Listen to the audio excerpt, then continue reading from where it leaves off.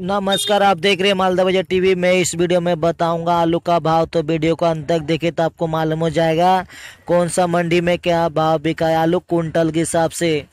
रोज़ाना आलू का भाव जानने के लिए चैनल को सब्सक्राइब करके रखें और बेल आइकन को दबा के रखें, ताकि जब भी हमें ऐसे वीडियो डाले, सबसे पहले नोटिफिकेशन आपके पास जाए। तो सबसे पहले बात करते दिल्ली का। दिल्ली का गाजीपुर मंडी में आलू बिका है। सत्रह से लेकर के उन्नीस सौ रुपये प्रति कुंटल के हिसाब से आजादपुर मंडी मालू बिका सोलह सौ से लेकर के अठारह सौ रुपये प्रति कुंटल के हिसाब से ओखला मंडी मालू बिका है।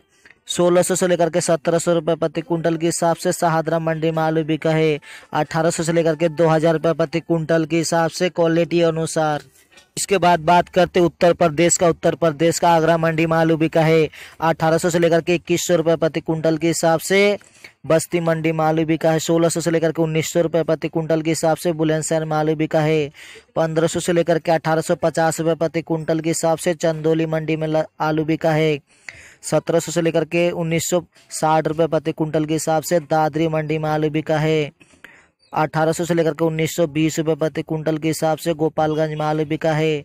इक्कीस सौ से लेकर के बाईस सौ रुपये प्रति कुंटल के हिसाब से जौनपुर में आलू बिका है। पंद्रह सौ से लेकर के दो हज़ार साठ रुपये प्रति कुंटल के हिसाब से नोएडा मंडी में आलू बिका है। अठारह सौ से लेकर के उन्नीस सौ पचास रुपये प्रति कुंटल के हिसाब से इलाहाबाद में आलू बिका है। सत्रह सौ से लेकर के इक्कीस सौ रुपये प्रति कुंटल के हिसाब से शाहबाद मंडी में आलू बिका है। सोलह सौ से लेकर के अठारह सौ पचास रुपये प्रति कुंटल के हिसाब से क्वालिटी अनुसार।